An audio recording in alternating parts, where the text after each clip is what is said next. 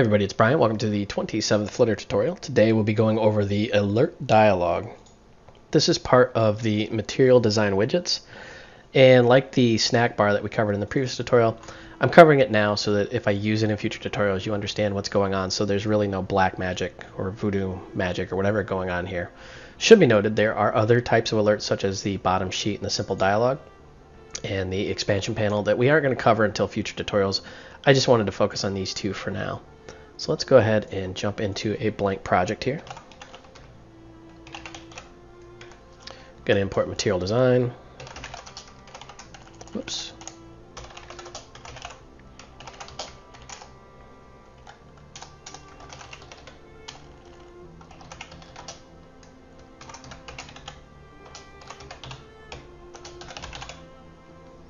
We're going to extend the stateful widget.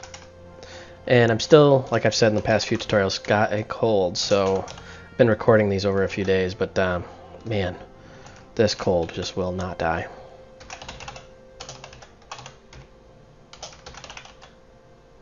We're going to create the state of this.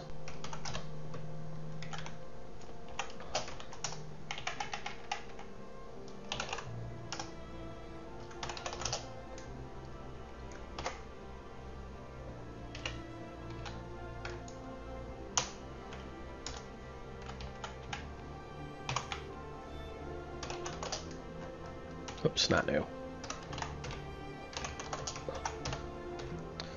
And we're going to shove my app out is the home of the material app, and then in here,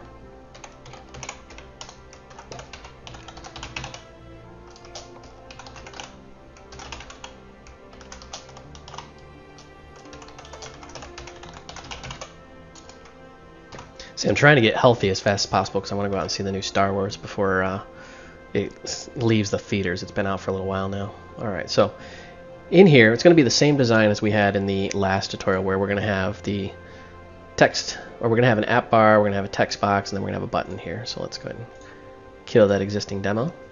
And let's go ahead and type all this out. Oops. Plus sign. Boy, that's an interesting operator. There we go.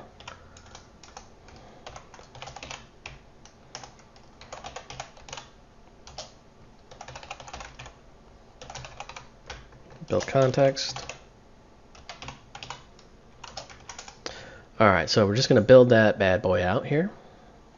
And we need to actually build our user interface. So, first thing we're going to do here is we're going to say to return new scaffold.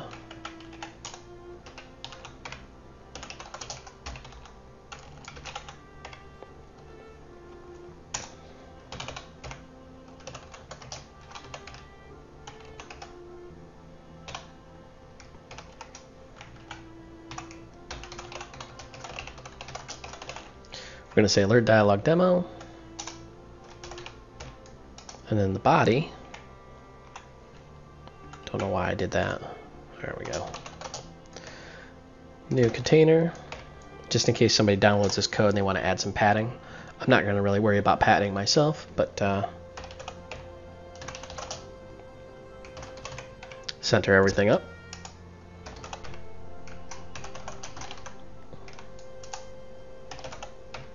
Then we've got our widget array here. We're going to say new text field. The new raised button.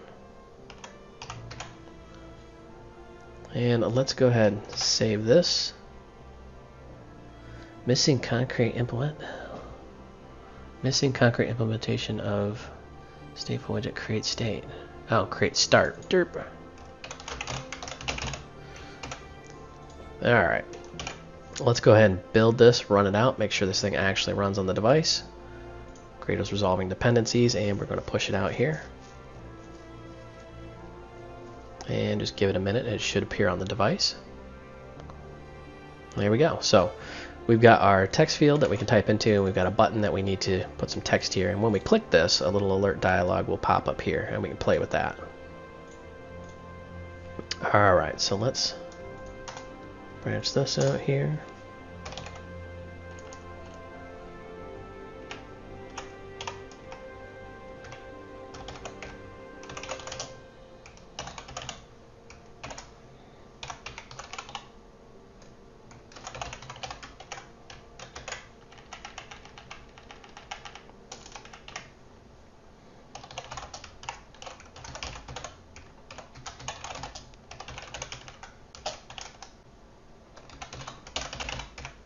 We're going to set the state here. So we need to hold that variable in memory.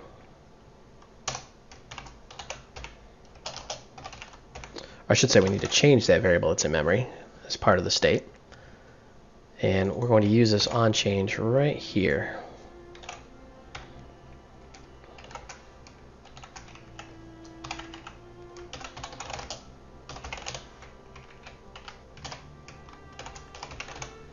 Pump that variable over to our onChange function. Alright, so let's actually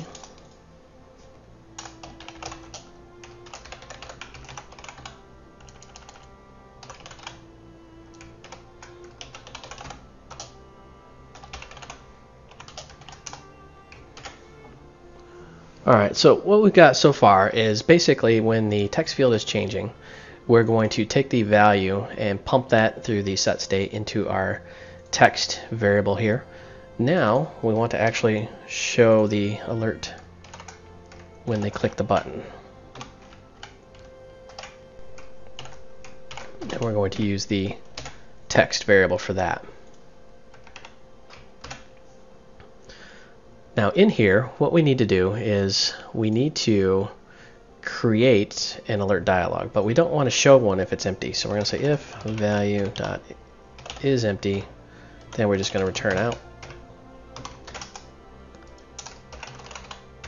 Alert dialog, dialog equal new, alert dialog. And you'll get so used to doing that throughout your little career here as a programmer. Alright, so the content of the alert dialog, we want to say new text. And in here we want to say the value.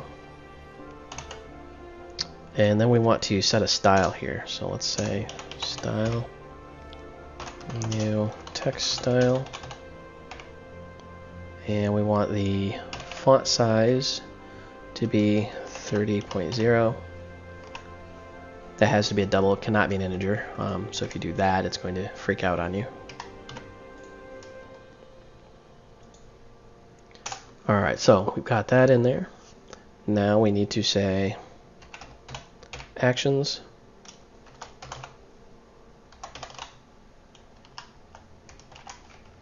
Oops. And there is our widget array here. Um, what we're going to do for this, and let's actually just run this just so you can see what it looks like here.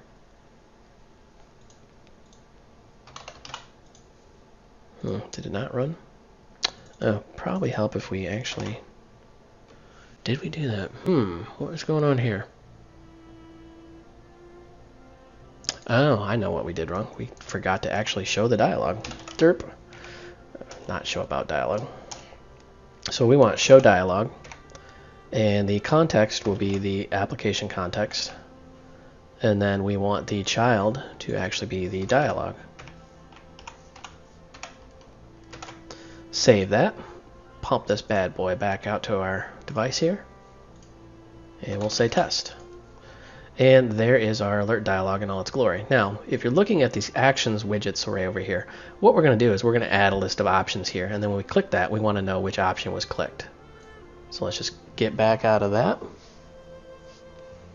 And sorry about that. Somebody was texting me and it kind of threw me off a little bit here we need to make an enum here, so we'll say enum my dialog options.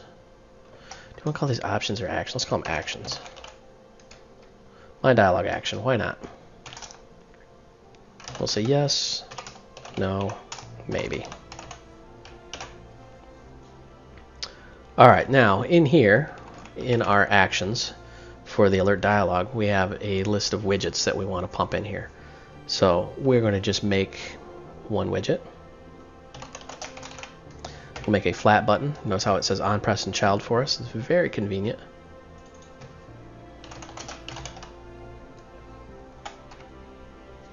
And then it'll say, hmm, let's say,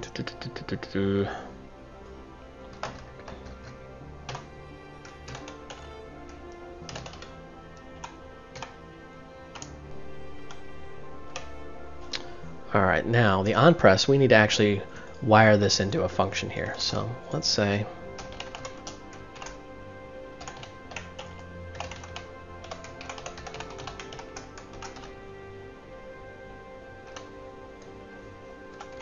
Whoops.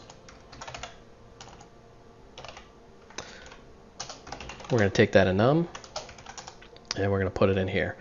And for this, we're just going to print this out. We're going to say print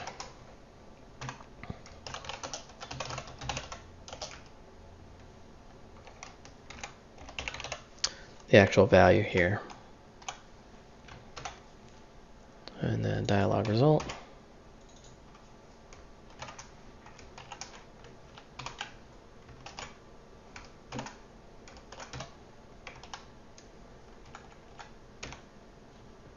All right, so let's run this back out to the device.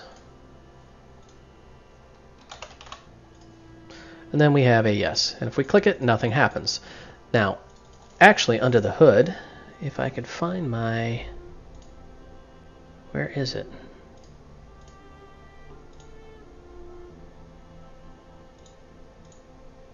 Too many options.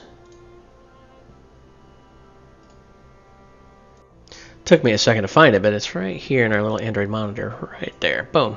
So we selected yes. Let's go ahead and click that a few more times, and you see that it's actually happening in the background here. So that was bloody confusing. I don't know what I got all hung up on there. So we're going to go back in here, and we are going to make a couple of these.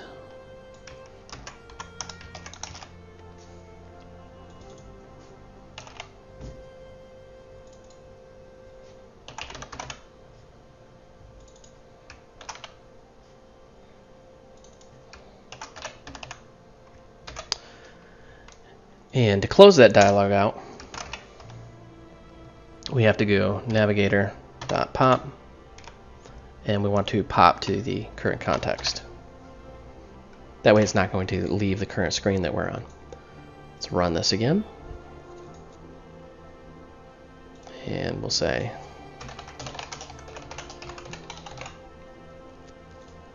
Do you like Flutter? We have yes, no, maybe. So let's look at our little Android monitor here pop this back. Where's my emulator? There you are. And if we say yes, you can see that it closes the dialog and we get this you selected the my dialog.action yes. And from there you could do a switch statement to determine what actually you need to do next. So pretty simple, pretty easy, um, pretty useful too. I mean you can do a lot with this. Um, you can do yes, no, maybe. You can put other controls in there. You can put drop downs, things of that nature. Pretty awesome for a very entry level control. Well, I feel I'm losing my voice. This cold's still kicking my butt. So we're going to call this tutorial done. Um, for the source code for this and all other tutorials, visit the tutorials tab on voidrealms.com. Go out to GitHub. And if you're so inclined, go out to the Void Realms Facebook group where there is 1,700 other programmers out there. All right. Thanks for watching.